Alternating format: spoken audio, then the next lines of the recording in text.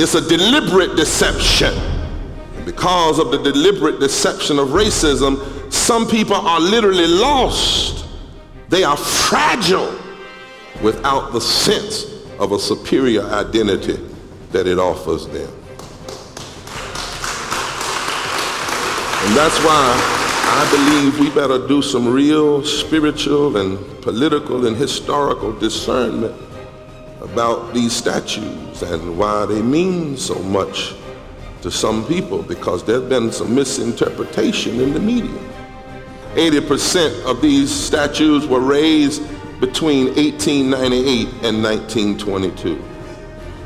Most of the statues, like the one in the park here, were raised to glorify deliberate deception. They were not raised immediately following the Civil War. They could not have been raised immediately following the Civil War because even Robert E. Lee said not to raise them following the Civil War.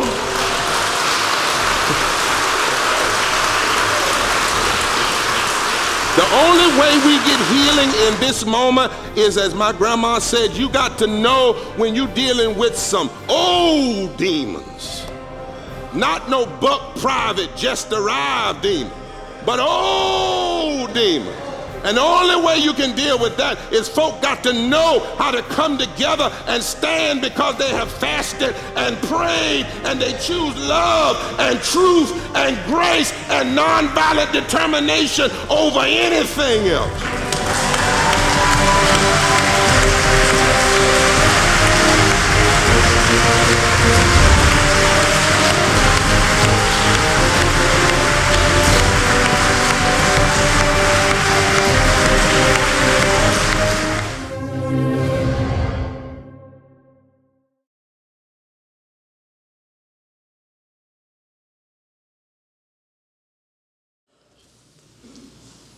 Lord help us here. I, I, I know justice is, justice is coming Lord soon.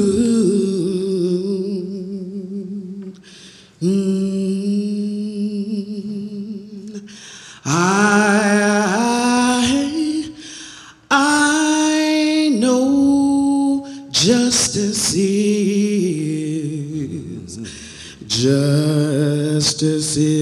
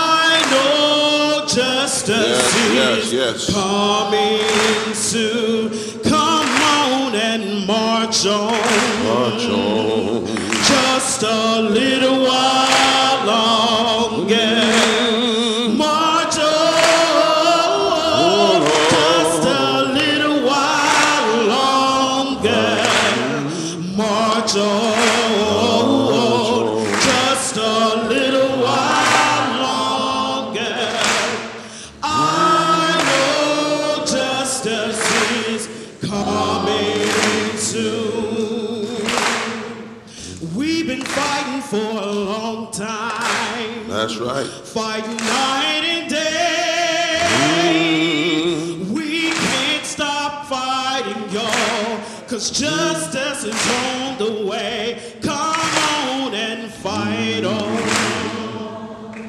Just a little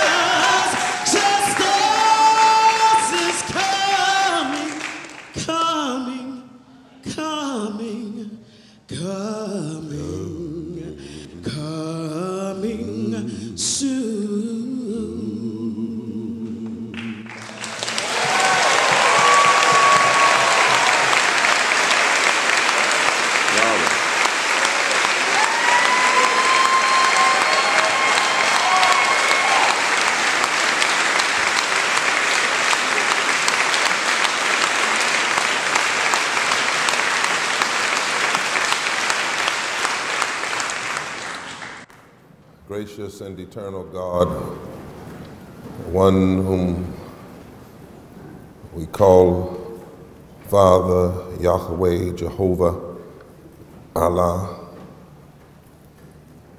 we thank you for determined spirits and for a knowledge that does not depend merely on men or women, and for a peace that passeth all understanding. Hold us and help us now. Keep us and somehow use us that words, lips of clay, might speak some words of life. For we ask it now in your name. Amen. I have humbled Seth and others by the invitation to come and preach on this holy day and on this holy ground. For wherever the blood of martyrs are shed, it is holy ground. I'm thankful for the Charlottesville clergy, the congregants Charlottesville, and the work that you're doing and the way that you are leading this nation. When certainly we need some leading and sanity to override the craziness. I, a few weeks ago, was supposed was was asked to be here by Seth and others and Traci Blackmon and Jennifer Butler, but Yara and I and my whole team, Charmaine and Jonathan and Clinton and Erica, who both were here, have been organizing and planning for the Poor People's Campaign, a national call for moral revival, with my co-chair, Dr. Liz Theoharis, who's on her way here now. And those travels had landed us in Mississippi. And I, we could not be here. And yes, Yara has been, like all of us, singing and ministering around the country. And yesterday, something jumped on me physically, and some people said not to be here. And then today, her voice. But I come from an old part of my family is Pentecostal. Yes, sir. And you know, Methodists were the original Pentecostal holiness. So he is right. It's all right to say amen. amen. And my some of the grandmothers and mothers that I knew, Siko, taught us how to recognize the difference between a somatic attack and the psychosomatic attack. In other words, they taught us how to recognize when there were other forces at work to try and stop you from doing what you needed to do. And in those moments, you have to push through in the Spirit and trust the holiness and the holiness of God. Thank you, Yara, for pushing through. Uh, thank you for all of you. And you're in one of those moments. Here in this city, you've got to push through, but you're not pushing through by yourself. God cannot, you can never apologize or tell folk that following the way of God will be carefree, stressless, and without burdens. In fact, in the tradition I come up in, Jonathan, I'm told that we're supposed to take up the cross and take up the yoke of God. And there is a place where we have to be able, willing to bear the burdens that are the necessary com- companion of doing what is right. You heard the reading today from Mark chapter 2 about this paralyzed man and his four friends and the healing of Jesus. I want to suggest today that God's love requires breaking through barriers. God's love requires breaking through barriers. In fact, God loves a breakthrough. If you follow the Rivanna River out of Charlottesville, down through the rolling green hills of Virginia, you will eventually come to the James River.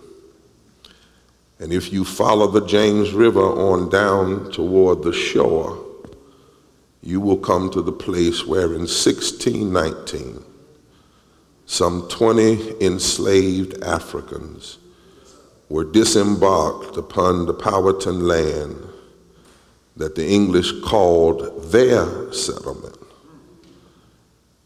We are gathered, sisters and brothers, here not far from the site of America's original sin. What you wrestled with and are wrestling with has been the wrestling match of America's history. And what happened here in Charlottesville which is connected to a long legacy, happened exactly eight days before the 398th anniversary of the date, August 20th, 1619, when slaves were first brought in chains as chattel to this land, considered property not the property of God, but the property of men. We cannot face the brutal violence that erupted in this town on August 12th without facing that sin. The original heresy.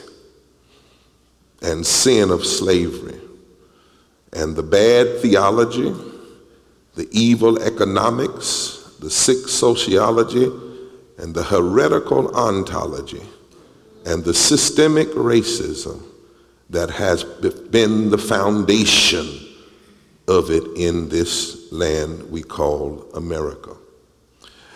And we cannot face the fierce urgency of confronting white supremacy without the truth that God's love requires a breakthrough. The letter to the Ephesians admonishes us to speak the truth in love, for we are members of one another. I want to make it clear tonight that I'm here tonight as a Christian preacher, not as a politician, not as a political figure, but as a consecrated bishop in our Lord's church. And I'm here along with other sisters and brothers of faith. But I'm also here as a son of America with the blood of people who have been called black, people who have been called white, and people who have been called Indian running through my veins. In my veins, the struggle has existed. In my very DNA, the wrestling match set between what God says about us and what racism says about us has always been at work. When I was born, my father's first protest in Indiana, not in the South, but in the Methodist Hospital in Indiana, was his demand that they not merely put Negro on my birth certificate. When he raised the challenge, looking at my skin color, they said, I'm a Negro. I was born in the same hospital Miss Fletcher was born in. My father said, no. He has the blood of Tuscarora Indians in his blood. He has cousins whose eyes are as blue as any white person. He has cousins who are white, and he has cousins who, for various reasons, were so light skinned that they ran north to pass in order to escape the turbulent violence of racism in the South. I'm here to speak the truth in love, my brothers and sisters, because we are members of one another whether we like it or not. As Dr. King said, we are inextricably bound together in a single garment of destiny. This is the message Jesus was preaching in Galilee. You might turn this down just a tad. When four friends loved a man, I don't know if these friends agreed on everything. I don't know if they agreed on every tactic. I don't know if they agreed all the time on how they ought to move forward. But what they did agree on was that this man was paralyzed. And the situation, the moment demanded that they find a way to work together because they needed to get him to Jesus, that brown skinned Palestinian Jew who had set up a mass meeting for healing.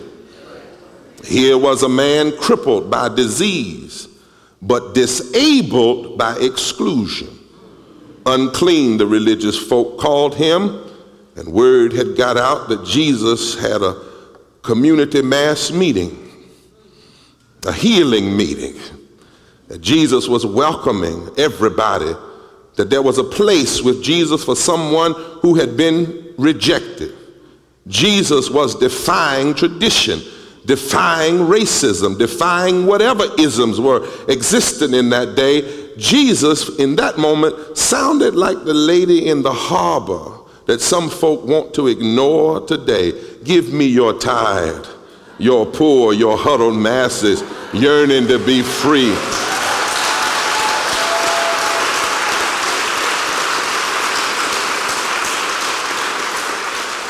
Give me the wretched refuge of your teeming shores. Send those, the homeless, the tempest tossed to me. But the defenders of the status quo, to Jesus' message sounded like a threat. What if they all get healed and start being involved with the government?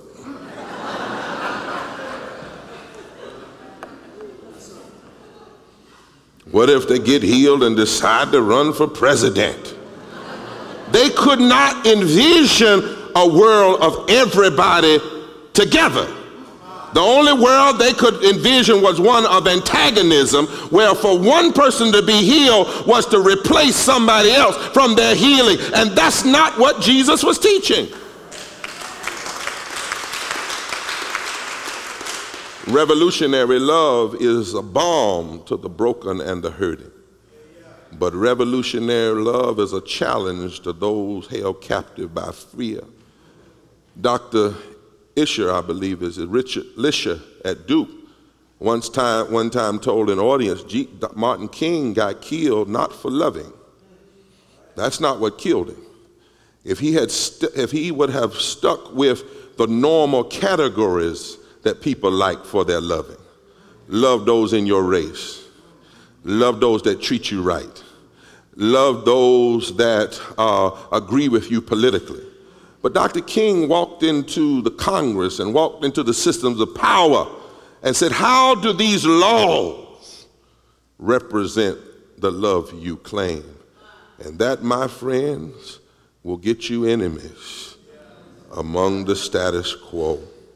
But God loves a breakthrough because it reveals how love conquers fear. And in this text, love conquers fear by taking the roof off. By letting the light of truth shine in. I want you to understand that the, they didn't push their way through the crowd to get the man in. They found a non-violent way to get the man in the presence of God. Now, Ched Myers, a New Testament scholar of some renown, is clear and says that the man here and his paralysis represents the nation. The nation at that time that was paralyzed by domination. Ched Myers said the whole Gospel of Mark and being the gospel that Peter dictated to John Mark, that the whole gospel is about taking on the systems, the demonic systems that had so subjugated the people of ancient Israel and so mimicked the Caesars and the narcissists of that day. And here is some truth that America must hear from Charlottesville if she's ever going to deal with racism.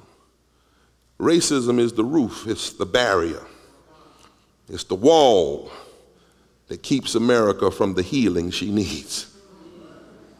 And truth, love, justice, and nonviolent determination is the hammer, the only hammers that can break through the barriers. And there are some barriers we got to break through, my friend. The first one is we have to break through is deliberate deception. That's a tool of racism. That's one of those walls. That's one of those roofs. I pastored in Virginia, Martinsville, Virginia, some years ago. I pastored, began pastoring right at the time Nelson Mandela was free, and Douglas Wilder became governor of the state of Virginia, while the N word was still in the state song of Virginia. Hmm. And I couldn't understand why the man who ran against Mr. Brother Wilder kept calling for recalls. I don't know if y'all remember that. Over and over and over again. I was a young preacher then. And I said one night in Bible study, I just don't understand what his problem is. And one of the old Ill- illiterate deacons of the church, but filled with great wisdom, said, Boy, he could say that to me. He said, Boy, what you don't understand is that racism is such a devious thing.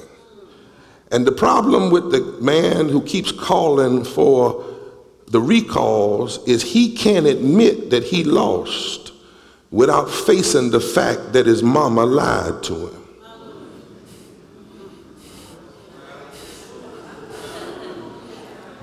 That ought to give you some compassion for those who harbor racism because it means that if you've been taught all the way up that racism is the way, hatred is the way, and then something happens. He, he said, look, his mama taught him that, that maybe in basketball or football, but if he ever decided to run for governor in a state where the N word was still in the state song, there's no way he could be successful. And yet it happened. And yet it happened. And he couldn't admit he was wrong without admitting that his mama had lied to him. And my brothers, that in some ways is the hurtful side of racism because you got to admit that those that raised you lied to you. My God. One author calls it white fragility that can be easily triggered by an opportunist, especially a narcissistic opportunist who uses fear mongering and otherization that points to other races and other sexualities and other immigration immigrant status as the cause of all your problems. It's a deliberate deception. And because of the deliberate deception of racism, some people are literally lost.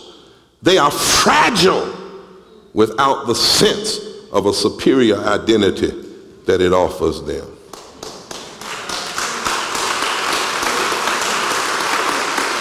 And that's why I believe we better do some real spiritual and political and historical discernment about these statues and why they mean so much to some people because there's been some misinterpretation in the media.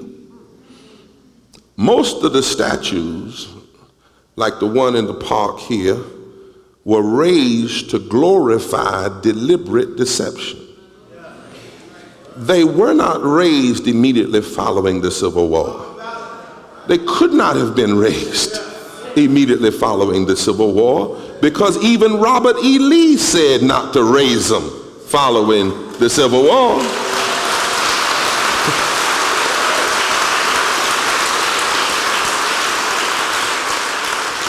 80% of these statues, I've got a good historian here, Tim Tyson, he'll correct me if I'm wrong. 80% of these statues were raised between 1898 and 1922.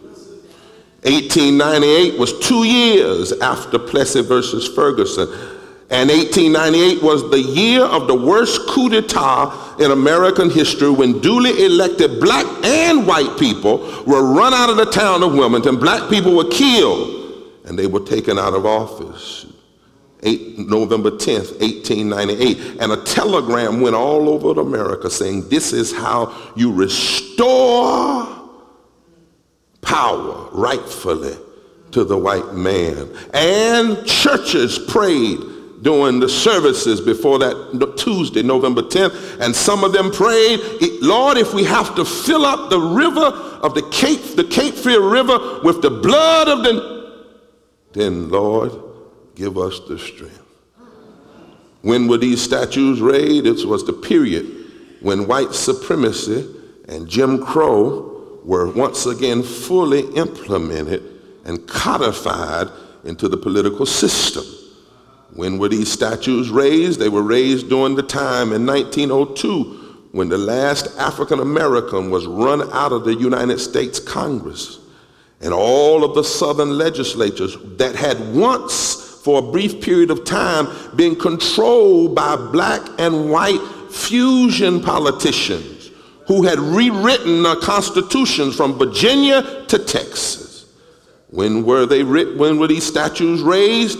when black men were being lynched on an average of one per day, and there was no anti lynching law in America. And the first anti lynching law wasn't even proposed until 1924, and it was proposed by Leonidas Dyer from Ferguson. A white Republican who proposed it. It was passed in the House, defeated in the Senate, and after that, he never won election again.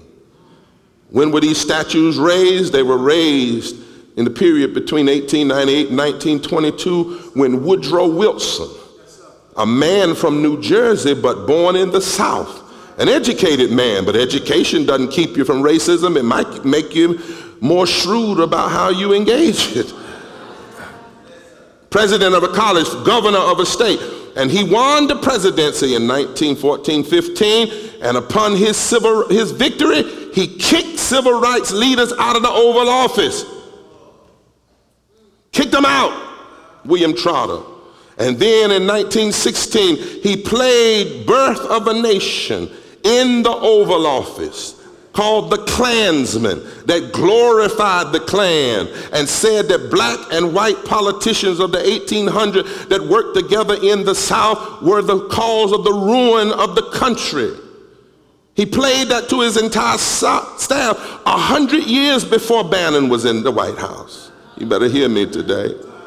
A hundred years before Woodrow Wilson he played that movie. That movie was written by a playwright from Cleveland County, North Carolina, Shelby, North Carolina.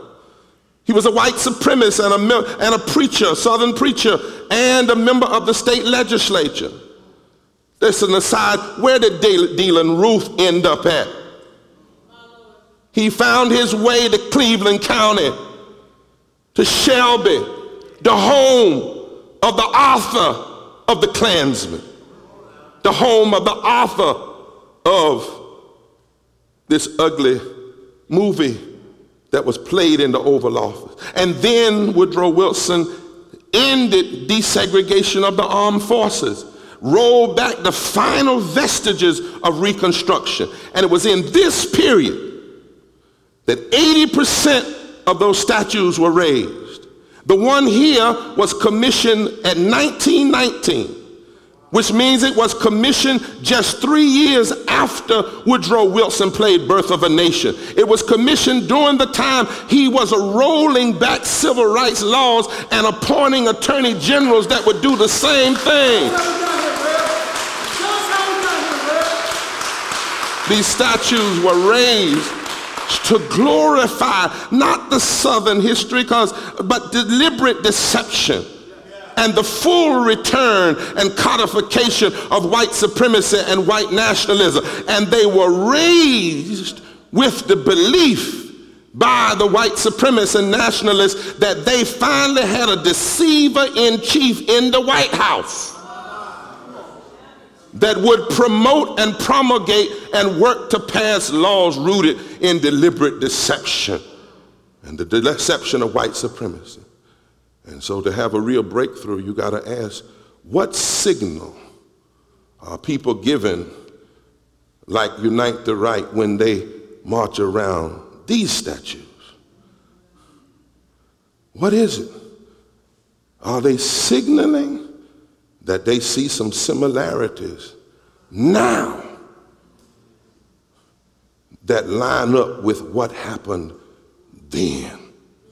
And that is why to heal, we're talking about healing, you have to break through because denouncing extremist hate is not necessarily denouncing white nationalism and white supremacy. Mm-mm. Mm-mm. We also, if we're going to heal, we must break through deliberate demonization. Can I work for a minute in here? Because I, I, you know, healing takes some time. It, you just don't throw stuff on healing. You can get a scab and not have healing. You see, deliberate demonization, the lie of white supremacy, isn't about whether you have a black friend or a white friend. Institutional racism is written into policy. For, for instance, after the civil rights movement, those who benefited from it, from, from, many of the, the, of the kinds of services that were opened up, used deliberate demonization to perpetrate the culture of racism without appearing to be racist. They use code words and dog whistles. Tim Wise, a scholar, a white scholar, by the way, notes how the various social programs, the various social programs that lifted many whites out of poverty were racialized by certain people and spoken of in a negative way as being undeserving entitlements. Southern Dixiecrats called them undeserving entitlements just as soon as black and brown people were given access to these programs post the 1954 Supreme Court decision. Because you do know that, it, that most black people could not pay into Social Security until 1954 because the deal that was cut in 1935 was that if you worked in the agrarian culture or you worked as a domestic, you couldn't pay into Social Security. So, and that was the only way Franklin Delano Roosevelt was able to get it passed. Hmm. And it was 19 years before that law was changed, 1954. And it was around that time that people, be certain people, began to suggest that you could use the word undeserved entitlement as another code word for racism. Deliberate demonization. The Southern strategy was its name. It was a strategy deliberately designed to play the race card in a way to drive certain Southern whites to vote for conservative white politicians and leave the ranks of the Democratic Party that had elected people like John Kennedy and Lyndon Baines Johnson. And hold on, I've got something to say about the Democrats. They don't get off scot-free either. but these had helped to usher in, with really the help of the movement, to put in place public policy goals and demands of the civil rights movement. In a starkly revealing interview, Former GOP strategist Lee Atwater boldly described how the Southern strategy worked to overturn and undermine fusion movements between black and whites in the South, which had built up an expanded democracy. He said this, it's hard, but in order to get healing, you have to hear. He said, this is the guy who ran the Willie Horton campaign. He said, you start out in 1954 saying nigger, nigger, nigger. But by 1968, you can't say nigger because it'll hurt you, it'll backfire. So you say stuff like forced busing or states' rights and all that stuff. Then you get really abstract and you talk about cutting taxes. And all of these things you're talking about sound like they're totally economics, but the byproduct of them is blacks get hurt worse than whites, and you allow whites to blame black and brown people for their problems. Atwater, Atwater would manage George H.W. Bush's successful run for the presidency in 1988. And then Alexander P. Lamis, a political science professor at Case Western Reserve University, quoted him, quoted Atwater in the book Southern Politics in the 1960s. Now, the target of the Southern strategy was to invite racism in to the political structure, particularly in the southern states of the old Confederacy. And the goal was to solidify from Maryland or Virginia to Texas 13 former Confederate states to guarantee 171 electoral votes for anybody running for president, 31% of the United States House of Representatives, 26 senators, and 13 state houses that could write the laws around voter suppression. But, in the, but you also got to understand how it worked. On June 11th, 1963, watch this now, the day before Medgar Evers is killed, June 12th, I believe, Medgar was killed, and I know it was in June. George Wallace stood in the door of Foster Auditorium at University of Alabama and pretended to defy desegregation. He knew it was going to take place, but he did it. Within a week, he received a 100,000 congratulatory telegrams, and more than 95% of his mail came from the North. The fan mail persuaded the slick-haired demagogue from Alabama to run for the 1964 Democratic presidential nomination. People said it was pointless, but in Wisconsin, more than a third of the state's Democrats cast their ballot for George Wallace. And he didn't spend a dime. All he did was play the race card. Three weeks later, Wallace landed 30% of the votes cast in Indiana. And scholars tell us that two Ku Klux Klans members ran a shoestring campaign out of a service station phone booth. And using the poison of race, he got 30% of the vote. In Maryland's Democratic primary, Wallace won 16 of the state's 23 counties and 43% of the final tally. And he said if it had not been, and I won't repeat the word again, we would have won the whole thing.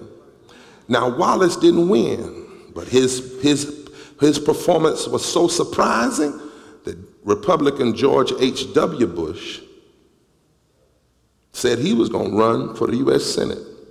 He'd never held elective office before. Bush declared himself emphatically opposed to the Civil Rights Act of 1964, saying that it trampled upon the Constitution by mandating equal access to restaurants, hotels, restrooms, and other public accommodation. And he explained to the crowd, this is in the 60s, the new Civil Rights Act was passed to protect 14% of the people. I'm worried about 86% of the people.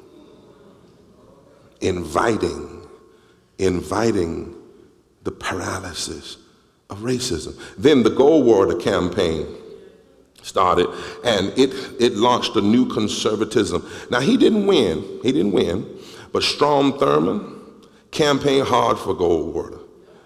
And Strom Thurmond became indispensable in Richard Nixon's Southern strategy. And Nixon and other tutors like Goldwater, he had um, uh, uh, uh, uh George Wallace, whose American Independent Party candidacy that the year was the only real threat to Nixon's presidential candidate in 1968. In 1968, Wallace runs this third party campaign. And according to historian Dan Carter, Wallace becomes the most influential loser in the 21st century. He taught the new and far more conservative Republican Party how to use the language of anti-elitism, anti-communism, and various euphemisms of race to inflame the voters. If you Google George Wallace's 1968 speech in Madison Square Garden, it sounds almost like our current president's stump speeches. Nixon also used his friendship with certain quote unquote white evangelicals in order to get a kind of consecration of his flaming these racial tension. Nixon's Southern strategy had a number of authors. Pat Buchanan was a young right-wing editorial writer from the St. Louis Globe, Democrat. Harry Dent, an aide to Strom Thurmond, Spiro Agnew, who was Nixon's running mate, and John Mitchell, who would become his attorney. Nixon chose Agnew, governor of a border state, primarily because of the way Agnew threw his diatribes at mainstream black leaders. He used Agnews to say in public what he did not say, to create what Nixon strategists call positive polarization.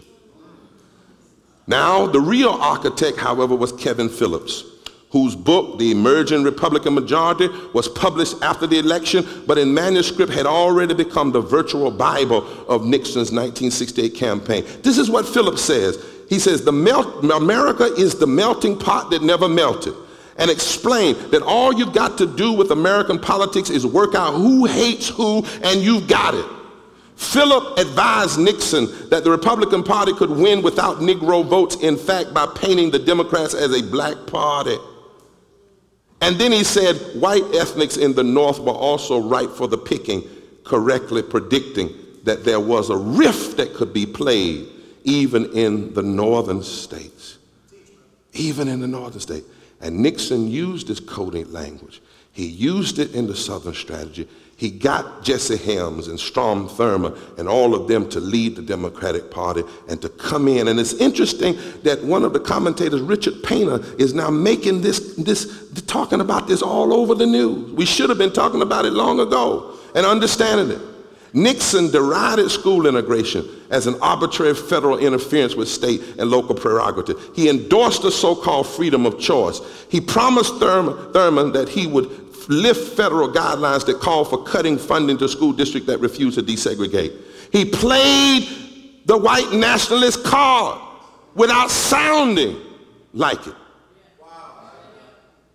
And he said that if you let me play, Thurman said to Walt, Nixon, if you let me play, we'll make it so that the majority of white Southerners will never go back to Democratic Party and they will never form relationship with black people.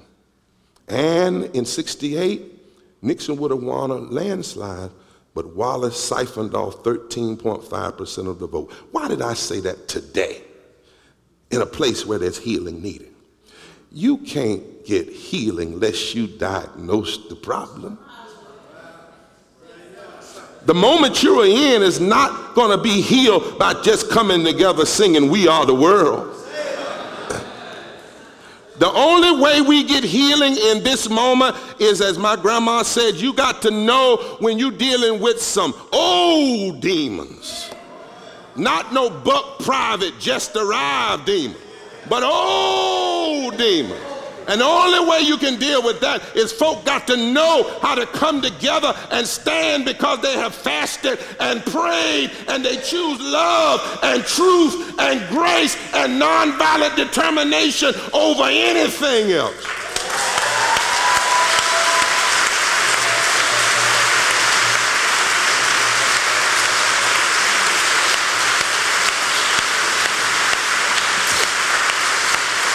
Friend, my friend, my friend, my friends, that's a little bit on the mic. Turn it up. Don't let anybody tell you that the problem is just Trump. That's a misdiagnosis. Trump is a symptom. Now, yes, he has emboldened and embraced the language and the policies of white supremacy that you faced here in Charlottesville. And yes, they feel like they can take their hoods off and stand proud with Trump in the White House like they thought they could in 1919 when they first raised the statue here. But long before Trump mastered the con of the Southern strategy, he had an audience that had been cultivated for more than 50 years.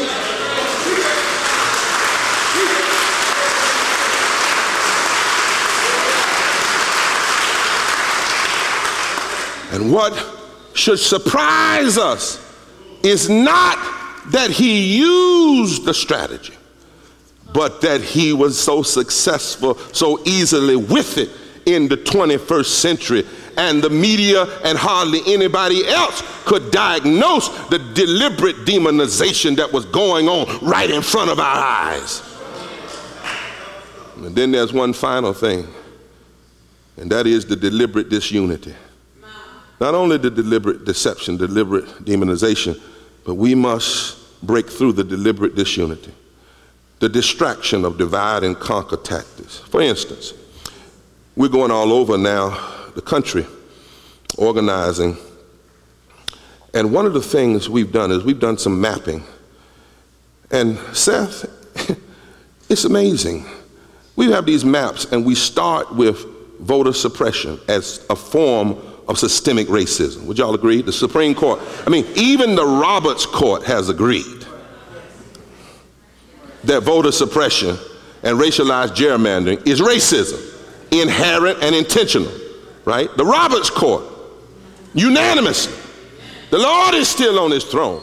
The Roberts Court. Everybody voted, even Clarence Thomas, the Roberts Court.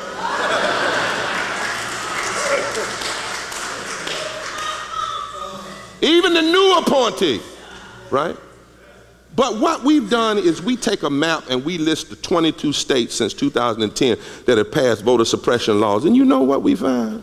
That if the state has passed voter suppression law, you can almost predict when you overlay it that it has the highest level of poverty, the highest need for health care, the highest need for a living wage. But you can also predict that they have elected the most politicians who are an, the antithesis of the policies that would provide living wages, that would lift up the poor, that would protect immigrants, that would protect the LGBTQ community, that would protect labor rights and workers' rights. What am I saying? There is a deliberate disunity design because as Dr. King said, if poor and working class white people and poor and working class black people and other people of color and struggling ever got together in the South, the South would no longer be able to be divided.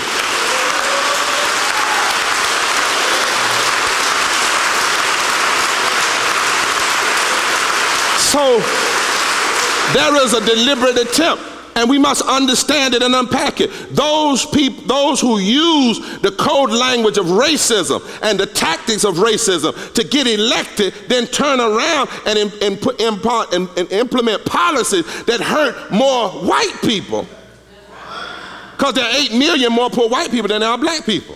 There are 5 million more poor white people than there are Latinos. So many of them use racialized tactics to get elected, but then use their power to favor an oligarchy that benefits from our disunity.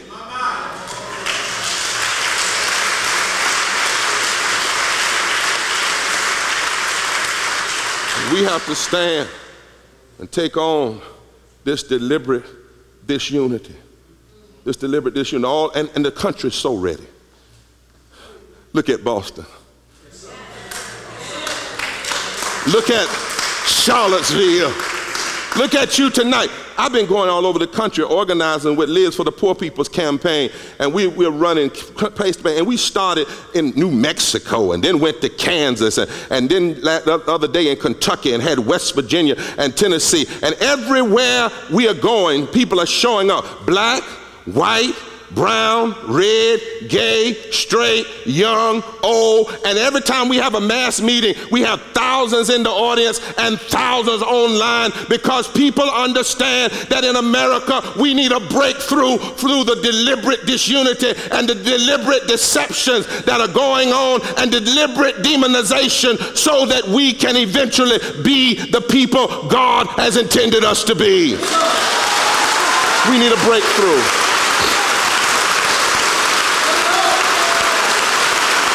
Yes. Yes. And so,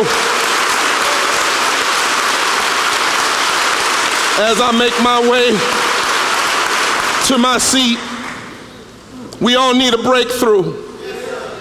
But to get a breakthrough, we need deliberate determination, not just one time action.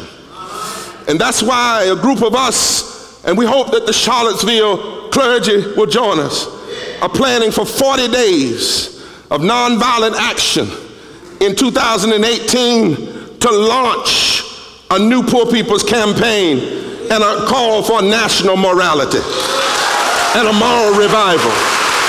We need a moral revival.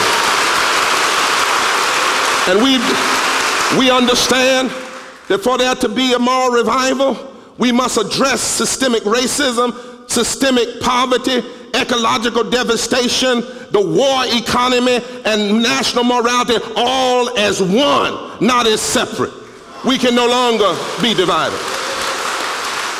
Well, I'm so honored that you would invite us here today, the congregants of Charlottesville, congregations of Charlottesville, because they have a message for the nation. Like the friends who pulled the roof off, they could have been scared away by the people at the door, or the people with the torches, or the people with the loud voices, or the people with the guns. They could have fought each other, these, these, these people who have come together, but they came together and they're coming together like these friends who fought for their friend to get to Jesus. those friends in the text, they could have worried whether the local authorities would charge them with breaking and entering. But love compelled them to act in spite of their fears. Love compelled them to, to, to break through the barriers. And in this moment, we must trust love over fear. In this moment, we must reach deep into the wisdom of revolutionary nonviolence. Dr. King, after he was challenged on the effectiveness of nonviolence in the face of brutal attack, he said this, we must begin to turn mankind away from the long and desolate night of violence. May it not be that the new man the world needs is a nonviolent man. Longfellow said, in this world a man must either be an anvil or a hammer. We must be the hammers to shape a new society rather than anvils that are molded by the old society. This not only will make us new men, but will give us a new kind of power. It will not be Lord Acton's image of power that tends to corrupt, the absolute power that corrupts absolutely. It will be the power infused with love and justice that will change dark yesterdays into bright tomorrows. And so, my friends, we must build a moral movement, willing to break through the barriers that keep us from really dealing with the sin sickness of racism. A movement that says to America, that to every politician, to every preacher, that just denouncing the extreme violence that occurred here, which you should do, and declaring that having done so is addressing white supremacy and white nationalism has been accomplished is not enough. No, we must have a movement. The test of any democracy is the policy it pursues. So we must say to every politician, especially those who are who have denounced, they say, the hatred here. Will these same political leaders who denounced extreme uh, hatred renounce the mean-spirited, race-driven, and socially violent policy agenda of white supremacy that precipitated and emboldened the action that happened here in Charlottesville? We must break through the barriers? Will they stand together with the clergy of Charlottesville and embrace a moral agenda? Will they issue a joint call and resolution to immediately terminate all the positions and the facets of white supremacy and Bannon and alt-right and Breitbart in the White House and censor the president for all of his overt and covert racially divisive language? Will they fully reinstate the Voting Rights Act? Will they acknowledge, will they acknowledge the racist voter suppression practices in 2016? Will they endorse the unanimous decision of the Supreme Court about racially gerrymandering? And if they're serious about this democracy, if you can be registered for war at 18, will they automatically register everybody to vote at 18? We want to heal it. We want to break through the barriers. You want to break through the barriers? If you want to break through the barriers, will they stop racializing Obamacare and claiming that everything Obama did is bad, which is a part of the white nationalist narrative? Will they stop racist white nationalist attacks on immigrants and oppose the RAISE Act and extreme deportation? Will they condemn the political rhetoric and the policies that target the LGBTQ community, the Jewish community, and the Islamic community? Will they increase the investigation of unarmed black and black and brown women and men and children who are shot by police? Will they repent of how silent they were when Trump promoted birtherism to the delight of all of the white nationalism for years? And will they stand and say that white nationalists don't care about poor and working poor of white America? They don't support living wages. They don't support health care. They don't support the working poor. They support the kind of policy that would take those things from white people. If you want those things, you need to hook up with the Charlottesville clergy and those of us who are standing for justice. And finally, Finally, finally, Lord, help me today. Will President Trump and the so-called white evangelists, who are evangelicals, who have embraced him, repent of the race baiting and hate baiting Trump used in his campaign? Or will they keep silent and continue to consecrate his action with their prayers and their support? My friends, to say you are against white supremacy without standing against the rhetoric that emboldens white supremacy and the policies that endorse the white supremacy reeks of a terrible ignorance and a deliberate hypocrisy. You cannot, you cannot, you cannot be against the statues and not be against the statutes that keep alive the deceptive and deliberate division of white supremacy. Hallelujah. So after, after Charlottesville, our nation is presented with a clear choice. We got to make a moral choice. We can break through the barriers or we can build more walls and strengthen the barriers that reinforce the structures of sin and racism. Republicans must renounce and repent in full the ways in which they embraced the racist tactics for years and invited white supremacy into the political structure. But Democrats also have to repent because many Democrats refuse to name and confront policy-driven racism. Instead, they attempt to frame every issue in economic terms for the white middle class and working class.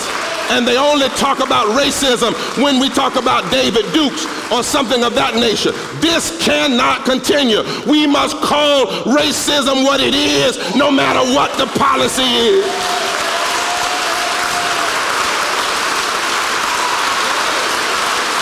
We have to, we have to denounce the political agenda of white nationalism and white supremacy line by line and precept by precept. Let us be clear. White supremacy is not now nor ever has been strictly a southern sin. Racism is not partisan or a regional issue. It is as American as apple pie. It is our nation's original sin. And the church must denounce the policies driven by racism and hatred, or otherwise the church is guilty of an unholy silence. And if, and if, and if all you do if all the time you talk about racism is in the extreme cases, in extreme cases, then you commit the sin that James Baldwin talked about when he said sentimentality is the mark of dishonesty and the mask of cruelty. We must choose the way of breakthrough that others have chose before us. Before the Civil War, abolitionists came together and they broke through. Following the nation's civil war, black and white poor and white people, formerly enslaved people and free poor white people, they chose to work together and build fusion coalition and they broke through. In the 1960s, Rosa Parks saw the death of Emmett Till. She didn't pick up a knife. She didn't pick up a gun. She picked up that old nonviolent hammer of love, truth, justice, and determination. She sat down on a bus and birthed a moral breakthrough and push the nation into a new place. That's what happened.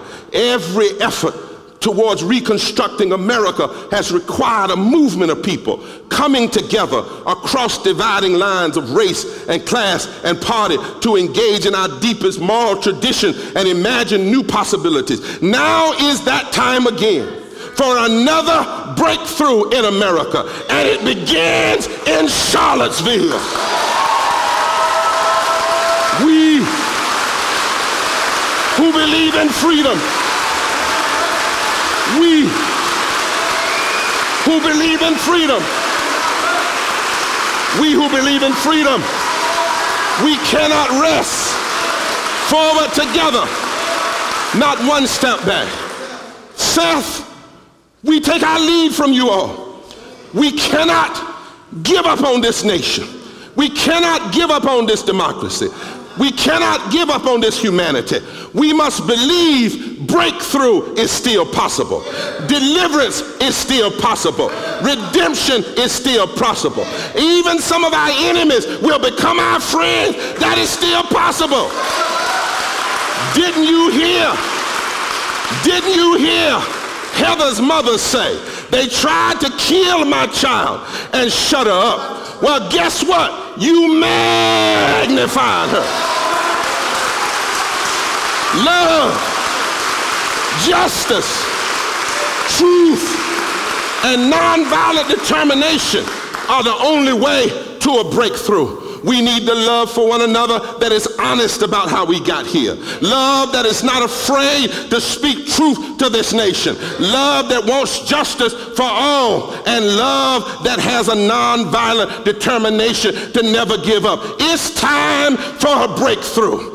We must break through the silence. We must break through the hate. We must break through the racism. We must break through the greed. We must break through the violence. And we must break through the bad theology and we must break through the despair. Tell your neighbor, neighbor, it's time for a breakthrough. In the name of all that's holy, we break through your despair. Can I take my seat? All I want to say is I still believe that Red Seas can be parted. I still believe that narcissistic Nebuchadnezzars can be shut down. I, I, I still believe, I still believe that dry bones in the valley can be restored. I still believe that crucifixion Fridays can become resurrection Sundays. I still believe that weeping may endure for a night, but joy comes in the morning. Do you believe? We need a breakthrough. And when we break through, the glory, the glory, the glory will be ours. When every system is torn down, when every child is loved, when every human being is cherished, when we are one nation under God, indivisible, indivisible, indivisible, with liberty and justice for all, then, then, then the glory, the glory, the glory, the glory, the glory, the glory, the glory. The glory will come.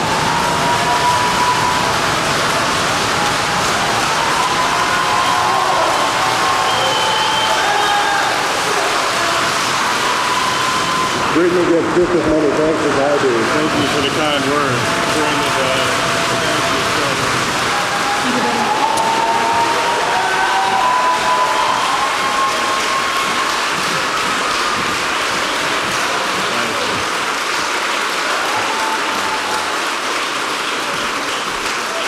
Amen. Amen. Amen. Unless we deal with this deliberate deception, the deliberate demonization, and the deliberate disunity, America will be paralyzed. But if we break through, not only is forgiveness of the sin of racism possible, but new legs to walk and a new nation to be. These clergy are in a long term struggle. And even those who preach to us sometimes get tired. Because when you really decide to be prophetic, and even if you decide to be lovingly and nonviolent prophetically, the power structures will not like it because you will hold all people accountable. I want to ask, they had asked me to pray. I want us to pray for the clergy. I want the clergy to come to the altar. And I want somebody to stand behind the clergy that doesn't look like you in skin color or favors you in your outward sexual appearance because I know that that may be many, but I want you to come. I want them to stand right at the altar, facing the altar. We got some kneeling places. You may, I'm going to leave it, I'm, you don't have to kneel. You don't have to kneel. And my dear sister organizer, Brittany, I want you right there so we can let you and Seth right there. You, because you organizing it. And see, anytime you're organizing, stuff gets organized against you. So if you stand between, turn facing this way, all the clergy. Now I want the cameras to show this. See, this is what they not they won't show. And then they're going to go outside and make this statement. And then I want Now, is there a person in the audience that will come and stand behind each member of the clergy? And clergy members, if you need to come on around and come inside, the pastor doesn't mind. Find a clergy person that does not look like you. Jonathan, thank you. Come on, y'all. Come on, clergy. Right, fill on in right around. Is that good? Now, I'm going to do something not because I can, but because I feel it, and I'm going to believe Seiko and others, the Holy Spirit will take it. I feel like going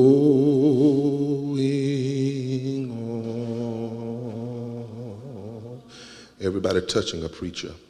I feel like going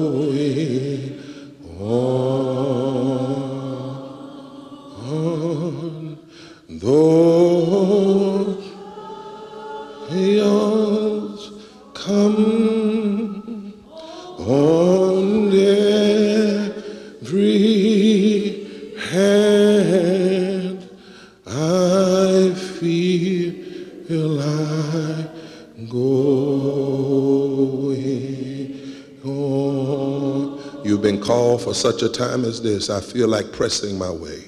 I feel. You represent the hope of this moment. My way. You will represent the hope. I feel. We have to hear from you.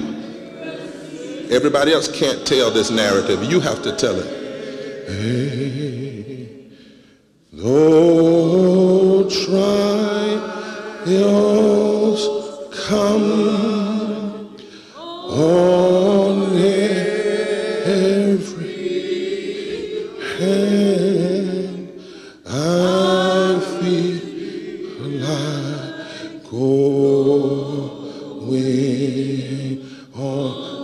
For a second. See, the power of this diversity is that you're going to convince some of the ones that are on the other side. Get ready for that now. Get ready to have to welcome somebody who may have been your adversary. And that's why they fight this so hard. In the name. See, if it was just black, if it was just white, if it was just Christian, but it's Jewish, it's Christian, it's Muslim, it's Pentecost. yes, and Pentecost is always dangerous to those that who believe in hatred. Mm-hmm. Uh, some of you, those of you with, with, with what the Bible calls, uh, um, well, what we call gray hair. I want to honor you. No, no, really, really. I want to honor you because you've seen these battles and you thought, you know, but let me tell you, we feel like go. See, some of you all, the Lord has kept alive to suit up one more time. Some of us got to suit up for the first time. Huh? And some of us got to suit up because we're living, because we're living off of the struggles of others. Come trials come. And that's why some of you couldn't die. I know what the doctor said. I know what the doctor said.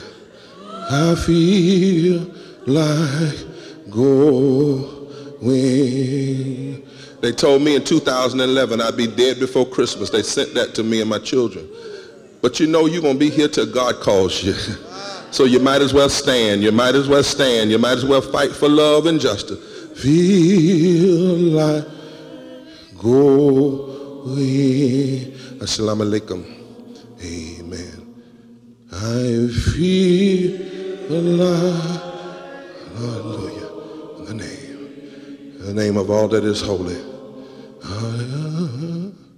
Ah, ah, Pastor, we say we know to open up this space for every hand and the risk it takes, the calls you get, but Jesus called you. Oh, no, no church called, Jesus called you. And you stand with the gospel and the gospel will take care of you. I feel, thank you, Brother Seco, for being here. Going on. I feel like go. Everybody, everybody stretching your hands this way. If you want to participate, stretch your hand toward these preachers.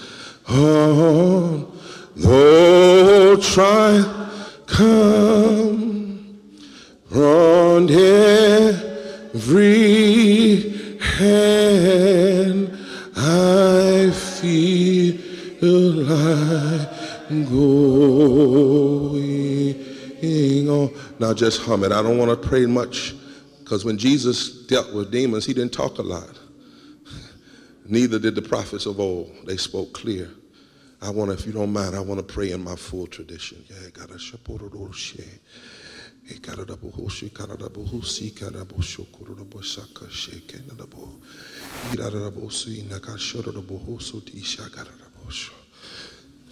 Lord God, Lord God, Lord God.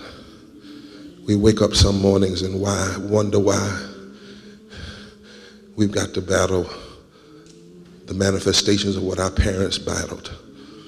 But God turned us from the question of why to the decision of must.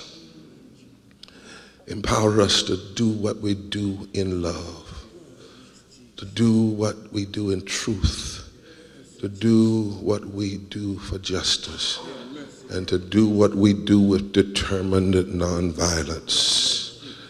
God, empower clergy here in Charlottesville. Just like you empowered the clergy of Selma and the clergy of Montgomery.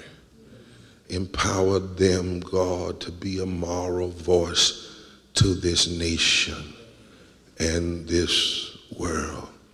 Strengthen them, God. Strengthen them for your glory, that they might be who you have called them to be. Yes, Lord. Now, God, now, God, Yes. we cannot pray for ourselves mm. without the hard prayer mm. of blessing those who despitefully use us. Yes, Lord. We pray now for the confused members of the human family who have made us their enemies mm. And do not know how we long to be their friends. Yes, Lord. Who understand that we stand against that which is destroying them. Mm. And we have to. Yes. And we can't be. And we won't be silent anymore. Thank you now. Thank you, Lord. In God's name. Yes. Amen. Amen. Amen.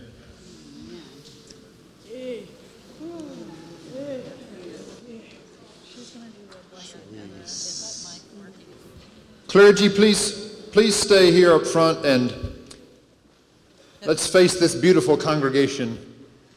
We want to hear from these clergy of Charlottesville.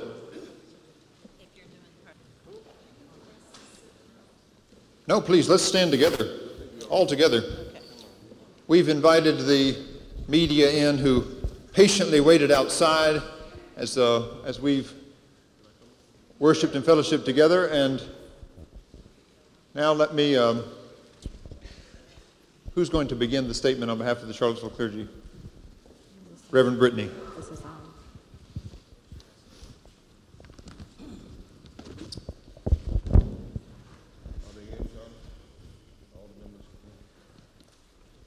Dear friends in faith across the United States, will you commit to counteract the narrative and agenda of white supremacy?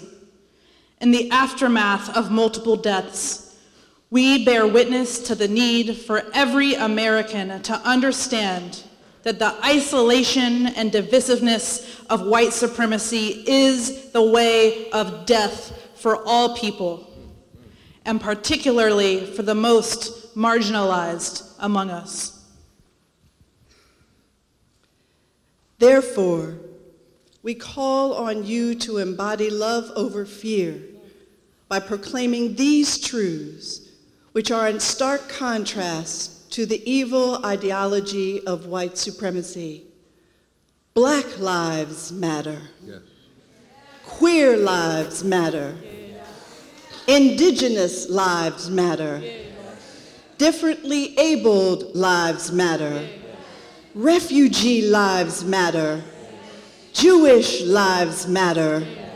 Hispanic and Latino and Latina lives matter. Trans lives matter. Muslim lives matter. Immigrant lives matter. And Asian lives matter. As members of Congregate Charlottesville's clergy, we thank you for your many demonstrations of love and solidarity since white supremacists and neo-Nazis attacked our city. As we said to the violent hate mongers who pushed us to the ground and cursed us outside Emancipation Park, love has already won. We know by faith that love wins, even when we cannot see it and we have committed ourselves to trust love over fear. The nation's response to events here in Charlottesville makes clear that we need moral leadership in every community. As followers of God, we call all people to admit that white supremacy is a structure of evil, injustice, and oppression. We, as people of faith, must engage in the long, deep work of dismantling white supremacy in all of its forms. We must confront and counteract white supremacy within ourselves, within our communities, and within legal, political, and religious systems.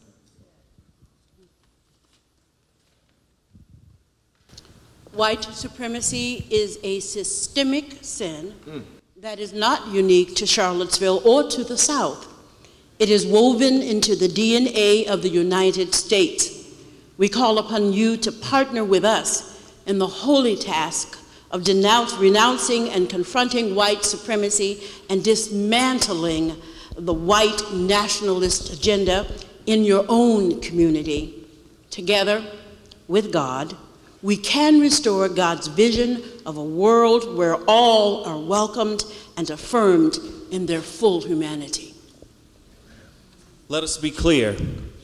We will not allow our leaders to condemn hate while they continue to condone the policies and practices of white nationalism.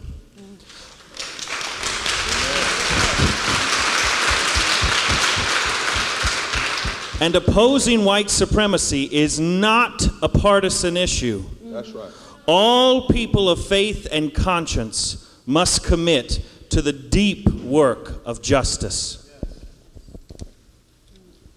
All elected leaders at local, state, and national levels have the power and moral obligation to enact policies which uplift, protect, and provide for the most marginalized in our society. As an act of choosing love over fear, we call upon all people, especially our faith and public leaders, to choose to stop racist voter suppression and gerrymandering by fully reinstating the Voting Rights Act. Choose choose to oppose the RAISE Act, defend DACA, and refuse funding for a border wall. Choose to work for comprehensive criminal justice reform and reject the law and order culture which has cast black and brown people as the enemy of America.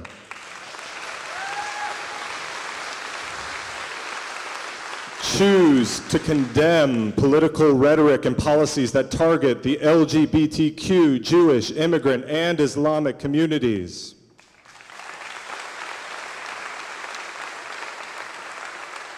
And to choose to support access to health care, affordable housing, jobs, and equal access to goods and services for all people.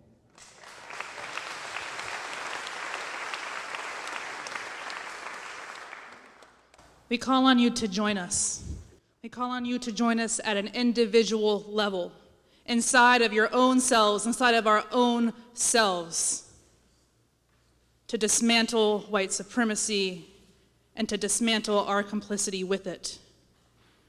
We call on everyone, but particularly the faith communities around our country,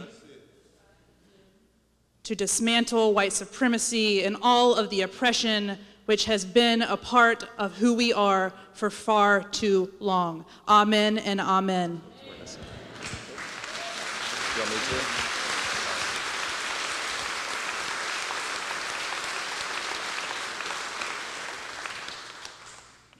Now I'm going to ask you, as you're able, to stand and join hands across the aisle with people next to you. Beloved, Go forth into the world in peace. Be of good courage. Hold fast to that which is good. Render to no one evil for evil. Strengthen the faint hearted. Support the weak. Help the afflicted. Honor all people. Love and serve God with gladness and singleness of heart and the blessing of God, the God in whose image all humankind is made, be with you this night and remain with you always. Amen. Lord, cover me in love as the struggle it goes on and say my name till something beautiful is born.